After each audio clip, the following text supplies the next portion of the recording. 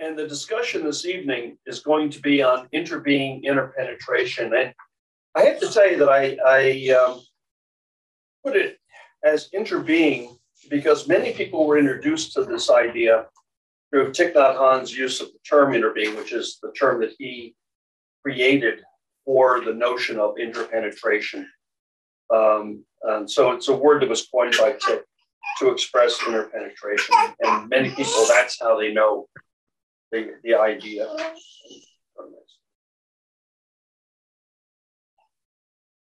And this particular slide actually sort of demonstrates interpenetration as, as it is. And you can look at the handouts that were online and that are here with us right now. Um, this is based upon the, the idea of dependent origination, which is really a foundational concept in Buddhism. Uh, it's the principle that all dharmas phenomena arise in dependence upon other dharmas, which is a simple way of saying it. If this exists, then that exists. If this ceases to exist, that also ceases to exist. Most astrophysicists point to so-called Big Bang at the, as the start of the current universe we live in, the arising of all phenomena. And this also happens to be in accordance with the story told in Genesis. The only difference is that Genesis provides a creator, whereas scientists do not assume attribution. And I'm not about to discuss the physics of that because I'm not qualified. Uh, and I also won't discuss the attribution because neither did Shakyamuni Buddha. What we can acknowledge is that all phenomena arose out of the same stuff. Hello, good to see you. Welcome. Um, do we have any more? Yes, we do. Okay. So the basic mean, going back to the reading, uh, just to, to recapitulate, what we can acknowledge is that all phenom- phenomena arose out of the same stuff. The basic meaning of tung, interpenetration, which has changed little over three millennia of East Asian literary history, is to go through or pass through. And you see the ideograph is close to that meaning. It's often combined with tung in Buddhist texts, but differs somewhat etymologically, as it originally signifies piercing through a barrier or breaking open a passageway where there were none before. In the original sense, there must always be present the totality of the Dharma, even when exposed to only a small unit of the Dharma. As such, it is not more or less, even that small segment in its totality. And here, I just want to make a, a comment both for the, the folks who are not accustomed to the Buddhist language that the Dharma represents um, not only the teachings in, in the Indic languages, in Hinduism, Jainism, Sikhs, as well as Buddhism, Dharma refers to the teachings. It also refers to the law of nature, the laws of nature. And it also refers to all the phenomena that we see around us. So the term Dharma has many different ways of being expressed. Um,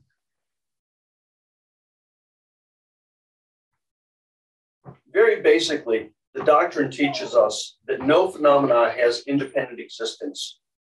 Whatever is comes into existence because of factors and conditions created by other phenomena. When factors and conditions no longer support that existence, then they cease to exist. What I'm talking about here is we look at dependent origination, which are 12 detail, 12 stages, and one leads to the next, which leads the next, which leads the next, and these go in a circular fashion, one starting and continuing on and on and on. That's dependent origination. So, from a Buddhist context, nothing arises spontaneously. Everything arises as a result of other phenomena. And so, when the reason I mentioned the Big Bang, when we go back to it, and now I, I, I said before, I'm not um, competent to discuss astrophysics, but I have read that that's one of the real issues that is in astrophysics today, and that is we have the Big Bang, and of course we recognize that most scholars um, most astrophysicists, I should say, will contend there is a Big Bang. Buddhism would say the Big Bang that we talk about now is just one of many that have happened many times before. That, there, that the universe that we are living in right now is just one of many universes that has existed and will continue. They just keep recycling. you could say that re- the universes are continually reborn. It just takes a long time. Of course, you know, we have a finite life of, let's say, uh, 100 years per person. I mean, hyperbole a little bit there. But so our time span of 100 years per person, our lifespan of 100 years per person, well, that seems like really old. That seems like really long. And, and to this little guy over here, 100 years is really a long time, right?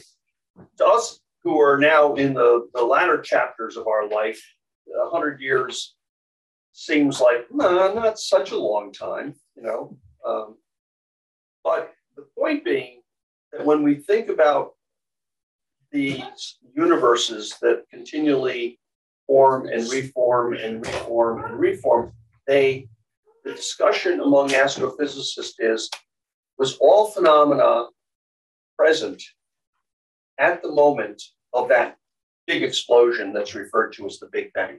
If we're to look at Genesis, we say Hashem, God, Allah, created the universe. What did he create it out of, practically speaking? And is one way to look at this. Was it all the same stuff? Or, well, we're, we're told that he that, that God did this in certain stages. This came first, and then that, et cetera, et cetera, et cetera. And that may very well be. I mean, the astrophysicist says we don't know. That could be the way it happened, or it could be that everything happened at once. So when we look at the elements that we, you know, you, you look at the element chart, the periodic table, and you see that there's nitrogen and there's hydrogen and there's oxygen and all those things. Did they all occur at the same moment? Or was there a progenitor of that, whether you believe in Allah or God or not? I mean, right now, nobody can, can stipulate for sure this is what happened or that's what. But the point is, from a Buddhist perspective of the dependent origination, and, and even there, we get into these discussions with one of the schools of Buddhism called Yin as to whether or not they all occur, occurred at the same time or did they occur in some other fashion. Um, at the very least, we accept the notion that within the universe as we know it, that the stuff that we're made of, when I when I pinch Ichishima Sensei used to pinch his hand and say, "This is just like the stars. We're made out of the same stuff." That's true. We're made out of exactly the same stuff as the stars, and and the rest of of of the universe one thing, if if this stopped to exist, ceased to exist, everything would cease to exist. I don't mean my individual skin, but the stuff that is made up in my skin. That ceases to exist, the universe would cease to exist. That's really what is what is being claimed here.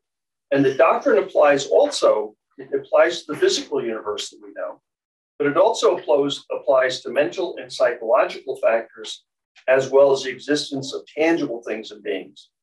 In his teachings on the 12 links of dependent origination, the Buddha explained how an unbroken chain of factors, each dependent upon the last and giving rise to the next, keeps us locked into the cycle of samsara.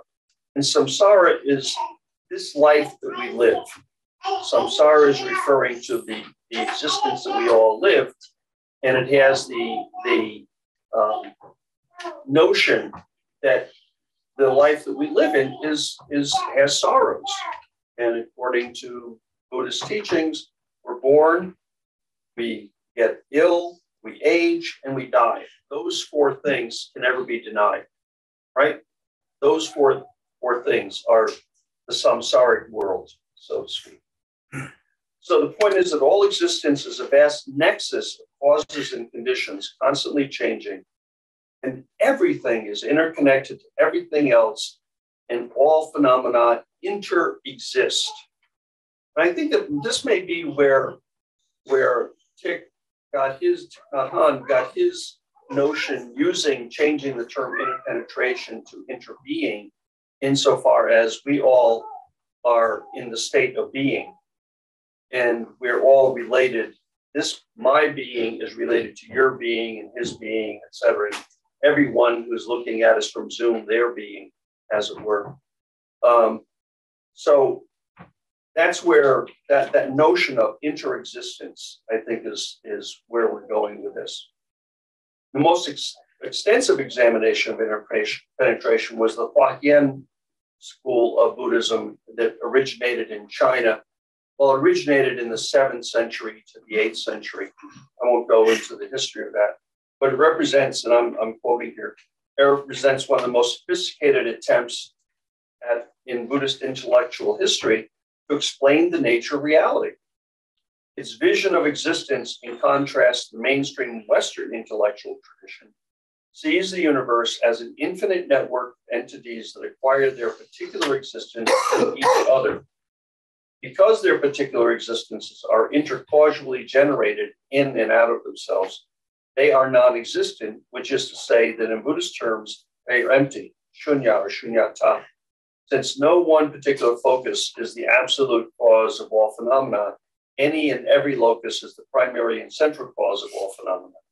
As such, every entity causally contains every other entity. And this idea is most vividly described or depicted in the Buddhist metaphor of the jewel net of Indra, which we'll discuss in a moment. Huayan Buddhism is the doctrinal school of the Avatamsaka Sutra. The English translation of that would be the Flower Garland Sutra. And this, according to the Fourfold Teaching of Zhiyi, is the first discourse delivered by Buddha after his awakening under the Bodhi tree. And it seemed no disciple could understand it. I say no disciples, there are other divine beings, heavenly beings, they could understand it, but no people could understand it because it was so profound. So, what we're talking about with this notion of interpenetration is when he described that, when Shakyamuni Buddha described that, going back now uh, 2,500 years ago, it was such a incredible notion that people just it just didn't it didn't make sense to people. How can that be?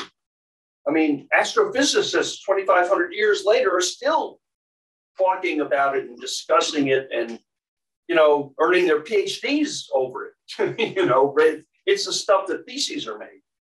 Um, and this is when he started teaching the Nikaya Tripitaka, which is the, the early Buddhist teachings to the Nikaya, the early Buddhists, the earliest disciples.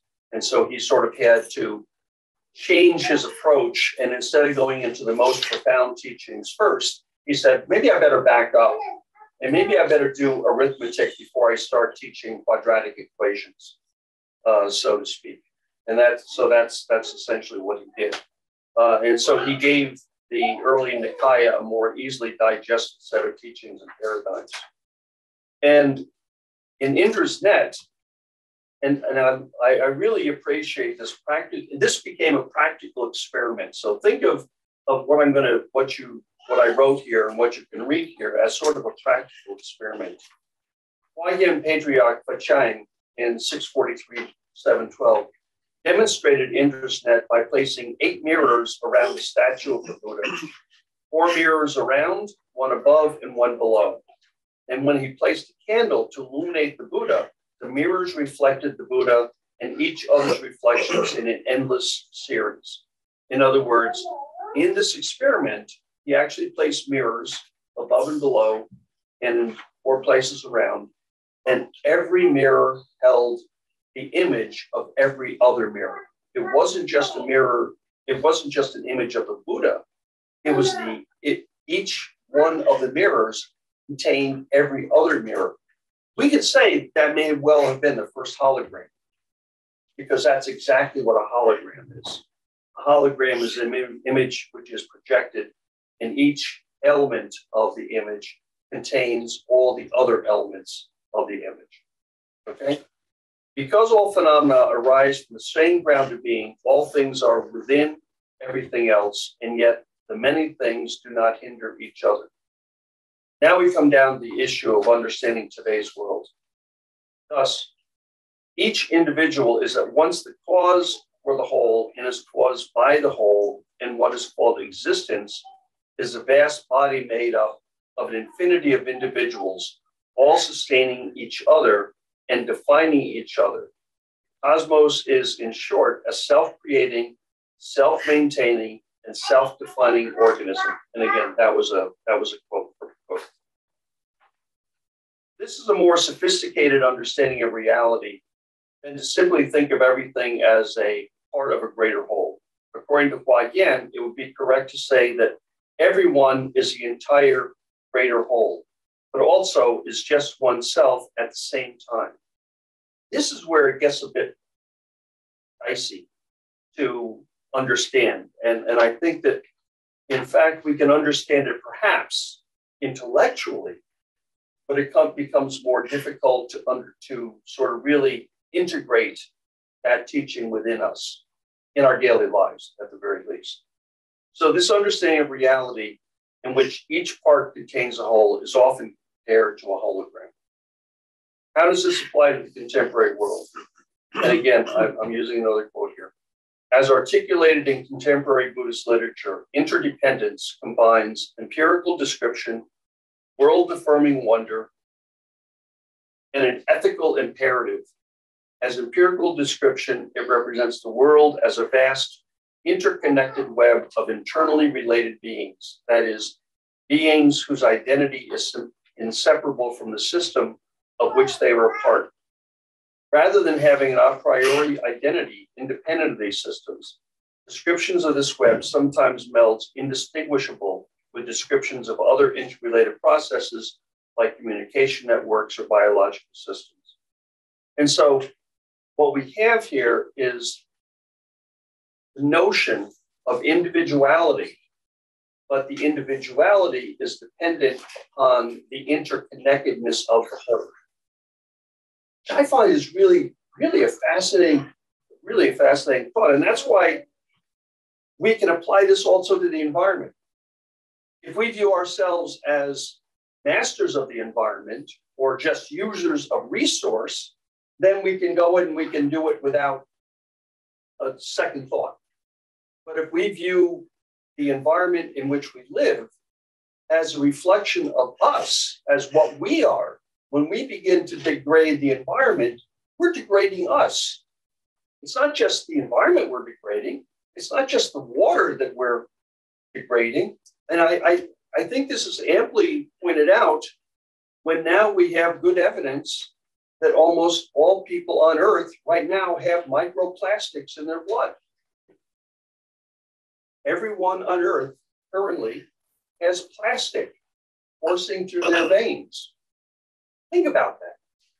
We did plastic didn't exist until what, was the first plastic? 1940s, late 40s, something like that. and yet now, most biologic systems on Earth contain micro levels of plastic. Might be parts per billion or parts per million or parts per trillion. Who knows? I don't know. But we all contain it. In other words, we cannot be separate from what we do. And that's the basic teaching of interpenetration. The basic Buddhist teaching is not only cause and effect, but each of us is responsible for everyone else. And we're responsible for everything, not only person to person, which I think is easier to see, but also the environment that we live in. We're responsible for that. If we abuse the environment, then it's going to abuse us ultimately. I mean, that's a ba- that's a basic teaching. So, um, as I say at the end, it is useful to recall this sacred metaphysical and phenomenological principle as we find reason to separate into separate tribes, parties, and factions. And I should have added, as we look at our environment, what is done to one of us is done to all of us. And I think that we understand that on particular issues, but we don't understand that it goes beyond particular issues. It's so pervasive. It is a basic, it is the one of the basic principles, not only of Buddhism, but of the universe and biological systems. So I'll stop speaking there and open it up for questions. Are there? So why don't you unmute, folks? And we can, oh, but actually, actually reduce that, go to the next slide. You got to see this next slide because otherwise.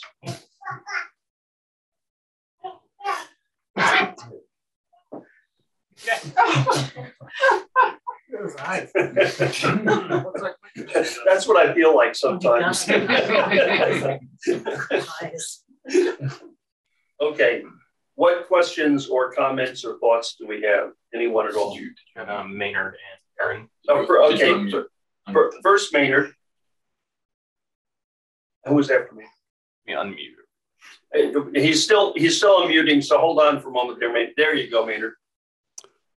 Um, you know, the, the concept of interconnectedness or interpenetration or interbeing, whatever word we give to it, is one of those uh, teachings in Buddhism that creates a kind of enchantment of the world. And, uh, it, you know, not just in Buddhism, but a beautiful piece of art or just uh, enjoying a child. It creates these enchantments of the world that counterbalances to some extent the suffering that the world experiences as well. Um, of course, uh, interbeing, when it's described as ending up with plastic in your blood, sort of takes away the enchantment. That's, that's, sort of that's sort of. Uh, but I'm just wondering, uh, you know, I I suspect there are a lot of people who are collecting these enchantments, which certainly Im- improve life, you know, including, including cosmic enlightenments like realizing we're all related through, through, through, through sharing the matter with the stars and that sort of thing. But um, I still have trouble figuring out how to sort of string these enchantments together uh, to move you more toward the state of some sort of enlightenment where you really you know substantially change the way that you um, uh, experience the world. And uh, i thought the metaphor of of inner inner being you know also you know having plastic in your bloodstream is, is sort of an example of how there just always seems to be two sides to these things.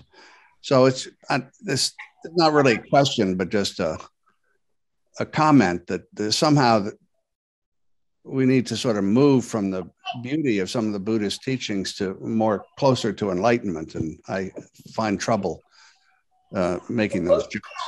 Let, let, me just give a really quick response to that. There was some who else had their Aaron. Oh, but let me give a really quick response to that, and that is the, the reason I did mention the plastic in our blood is because you're right. You know, the idea of interpenetration is also is often given as sort of enchanting story. On the other hand, um, it's not that there are two sides to the story. That's that's what I was going to comment on. It's not that there are two sides of the story. There's this good part, which is enchanting. There's this bad part, which is the plastics in our blood. It really, they're one and the same. And that's part of what the that's part of what interpenetration is. They're exactly one and the same. There's not a distinction between them. we would have a duality if there were, but there isn't. I mean, that's the point of every particle contains every other particle. Um, and I, and I, I, that's the middle way. That's the Tiantai middle way. That's really what it comes down to. Uh, Aaron. So my question is actually a little, oops, I'm sorry, wrong button. Um, a little tied to that. Um, my question was like, let's say I'm reciting the Nembutsu with like the three truths of Tendai. Like when I do that, is the ultimate experience supposed to be like interpenetration? Or is that something that's a product of it? Like, is it something that is passively aware? that I'm supposed to be passively aware of? I think I think we have to get back from thinking of it as is it supposed to be something? Mm-hmm. I think that we have to look at it as when we're doing it, we're doing it, Uh, assuming that it's with, with all good intentions and all honesty, et cetera, et cetera, that we're doing it and it will, it is part and parcel of the other. It, there's no, there is no distinction. It's not what it's supposed to be. It's what it is. I mean that because think of it as more like a principle of the universe as opposed to just a philosophical concept. You know, you can think of you can. I don't know if that made if that made sense. If that made sense to you or not. No, yeah, because I think my question was really like, is it supposed to be this regulative principle that helps me do that, or is it like that final end of it? No, yeah. it, it's more un, a better understanding of the nature of reality. So it doesn't lead you to awakening if you incorporated or embodied that awakening, uh, embodied, excuse me, embodied that in a very real fashion, that reality in very real fashion, awakening would naturally occur. It's not assisting you in that sense, you know, it's not supporting you or leading you someplace, but it's one of those items in which it exists in the universe, and by better understanding it, it opens your mind to the nature of awakening. Uh, Ichishima Sensei, is there anything that you would like to comment on in relation to this? Oh. Uh, well, yeah. Uh, Huayan Sutra is very interesting. Uh, course, one in everything, everything is in one. Was uh, that that kind of theory is very important, and uh, others uh, we have such a uh, explanation. There are 53 teachers in our lifetime. And so uh, Edo period, ancient time, uh, well, uh, old time, uh, they made uh, uh, stages or stations or inns between Tokyo, Edo, and to Kyoto. There are 53 stages or inns where people traveling from Tokyo to Kyoto, you see.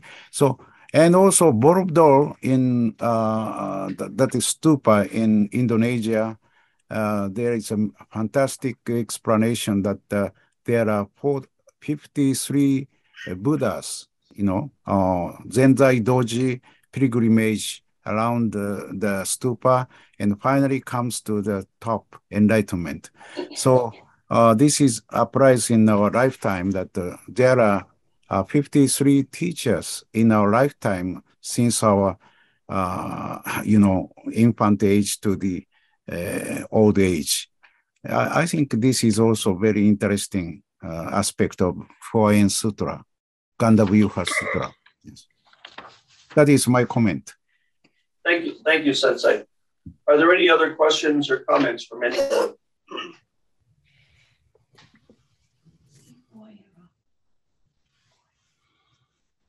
Okay, so I feel like Shakyamuni Buddha, who sat and gave, uh, I get this citing Joven. Shakyamuni Buddha sat under the Bodhi tree. He gave this discourse, and nobody had a clue what it was like. That, that's how I feel right now. You know, you got to know enough to ask the question, right? So, uh, Joe, please go ahead.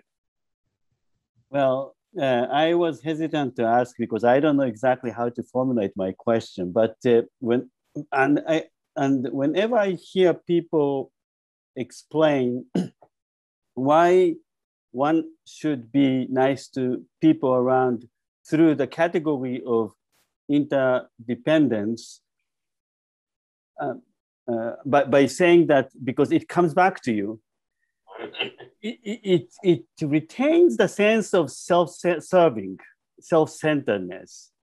And I mean, and I don't know whether this kind of explanation is relatively modern or it has very ancient root. I can come up with a different kind of explanation by using the category of interdependence, which is to see reality as a whole as performing symphony. And I also perform, supposed to perform my tune. And if I don't perform my tune, reality as a whole is unable to perform its symphony. This is a different kind of explanation uh, it, it, it's not so self-centered, but the first one that I mentioned and something that it's, uh, Monshin says you presented, I, I see that there's a danger that of how they say this, retaining your self-centeredness or self-serving aspect. Right. Mm. And, and, and I, I think that the point that Joe is making is very useful. You know, many of the um, many philosophers would maintain that there is no true altruism. That what we view as altruism when we do something for the benefit of someone else with no benefit for ourselves, there can never be no benefit for ourselves. So, how can there be true altruism? You know, if we're receiving some kind of benefit. I think this is uh, part of the, the issue that Joe is, is speaking to. And I, I agree, we shouldn't be looking at interpenetration saying, well, we should be nice to others, we should be nice to the universe, we should be nice to the environment, because what we do to the environment will result in what happens to us. On the other hand, you know, I'm thinking about the Metta Sutta right now, where it says when the mother regards her child her only child, and she treats all other children as her only child, that's the way we should view all sentient beings, as the, in the same sense that a mother views her, her only child. And I think that that is, in a sense, part of interpenetration also. We're not just doing it for us. The mother is not just treating her child the way she does for her own benefit. We could argue from now we'd be arguing from a sociobiological perspective that if her her genes are the same as her child's, well, she's even protecting herself if she's protecting her child because she's she's uh, propagating or she's uh, enhancing her genetic contribution to the world. On the other hand, I don't think that a mother is really thinking about that when she's thinking about taking care of her child. I don't think that the mother is really thinking now. I'm not. I'm not going to get into sociobiology of this, um, but I don't think that a mother is really thinking, well, I'm going to really uh, do well for my child because this is this is extending my genetic contribution. Uh, so it's a. On the other hand, there are those who would argue that that's in fact what rebirth is.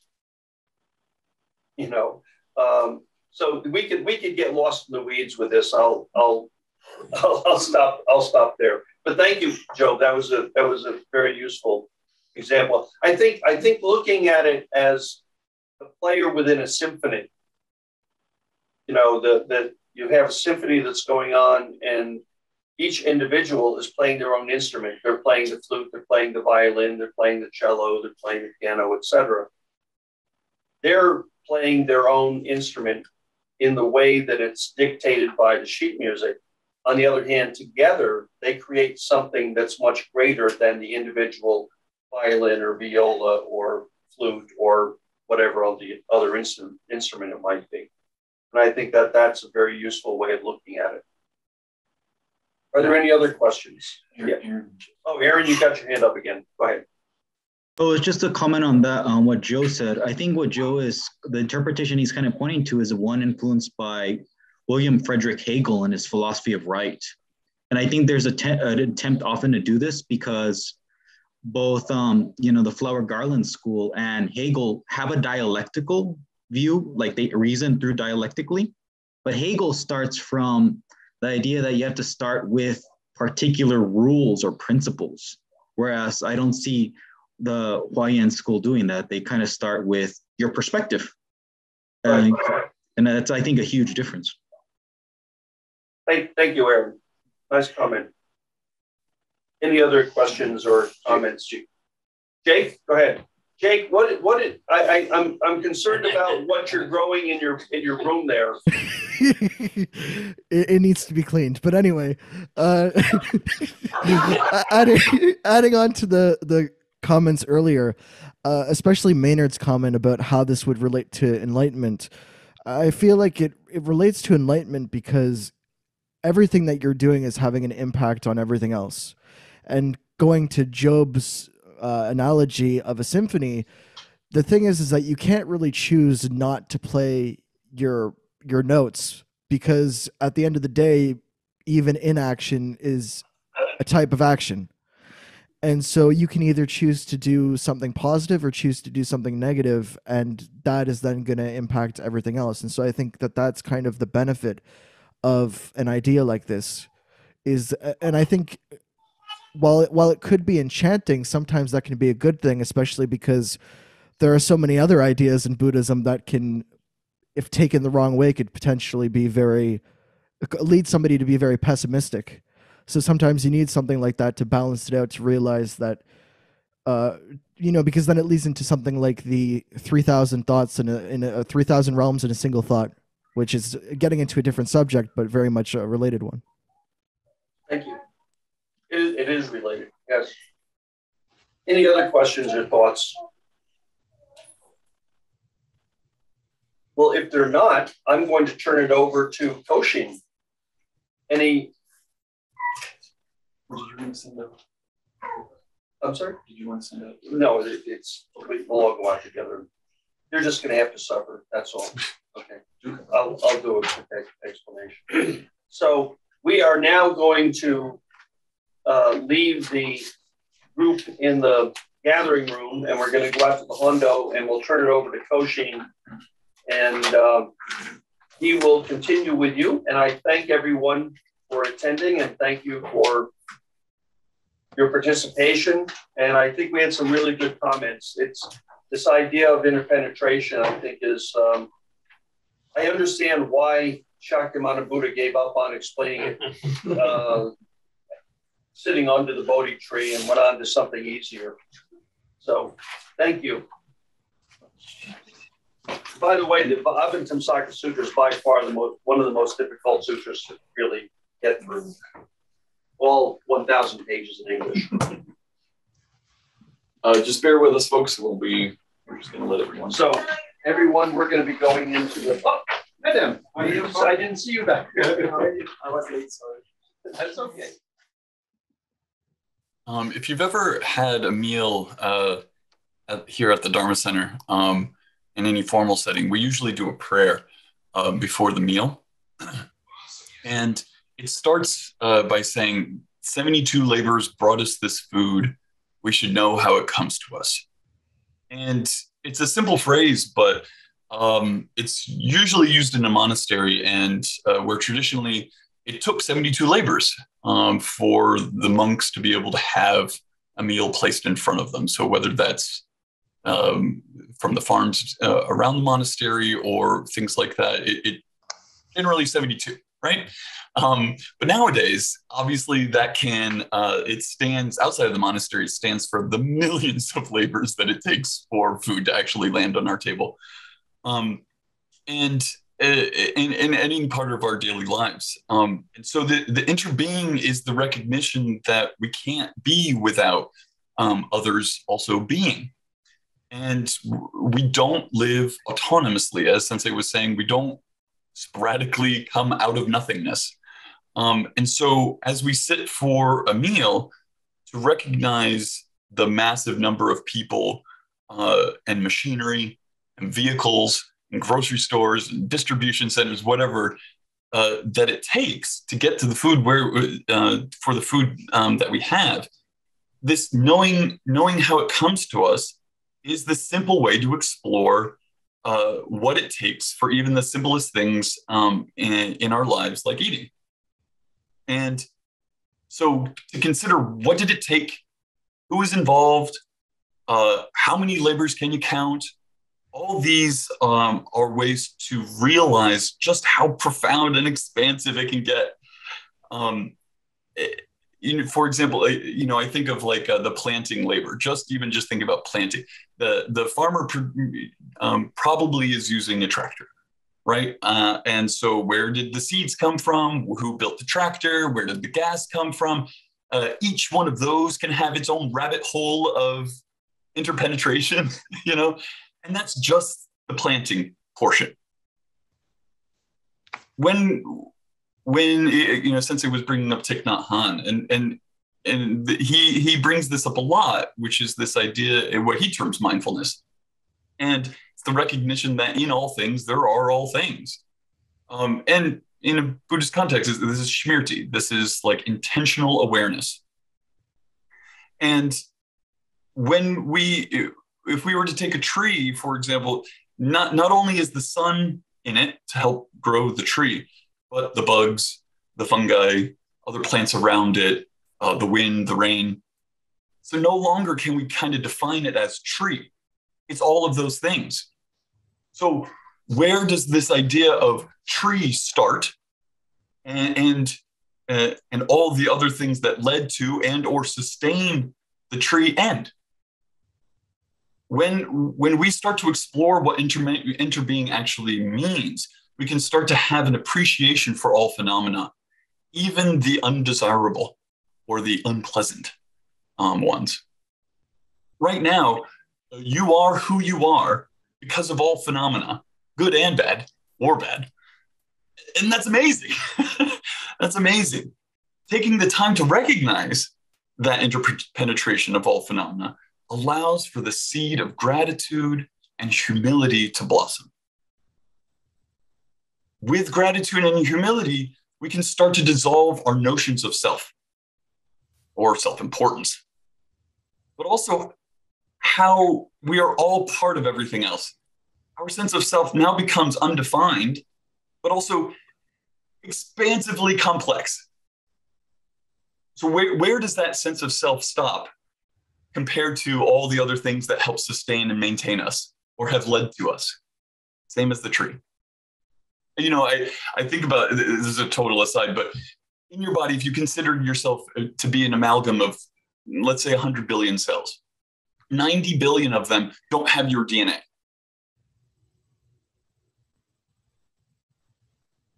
when as we grow, our bodies naturally shed our skin. Um, our skin is about five years old from like inner layers of skin out to outer, and as we slough up, it regenerates. Our stomach lining is within weeks. You know, we are constantly recycling ourselves. So then, who are what? what, who are we? What is that? We we rely on the things that are sustaining us to maintain who the self concept of self.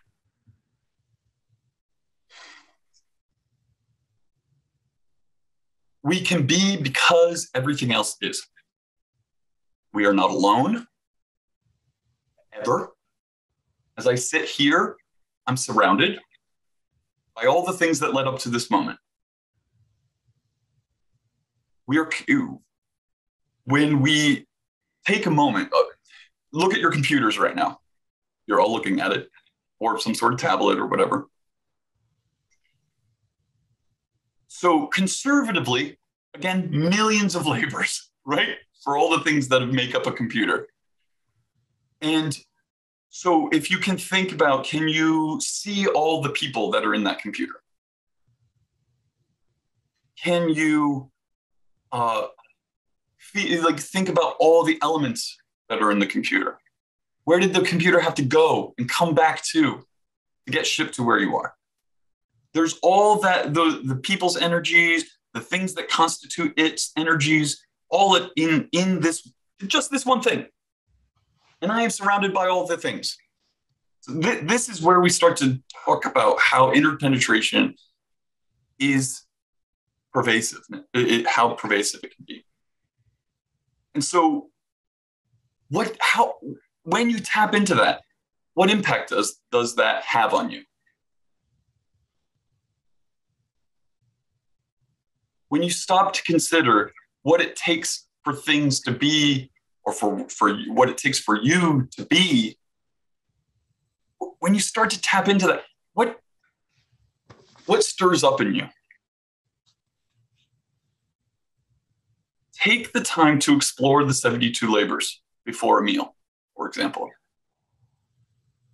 You know, um, uh, Maynard was here. I, I wish he had stayed. You know, um, it's it's the reminders for me it's the reminders that that it can be a simple fun exercise I, I get that you know it's fun to go ra- down rabbit holes but but over time the practice of reflecting and reminding impacts and, and changes our perce- perceptions our perspective.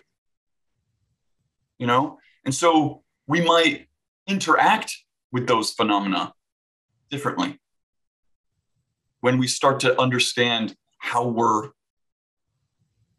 inter are, how we inter are. Experiencing the interbeing is foundational to that Buddhist practice. Okay. Get outside of yourself and see that we all depend on each other and on all other things. We inter are. Therefore, bring grace, awareness, gratitude, humility to that interbeing for the sake of all other phenomena. Svaha. Uh, and for the quote.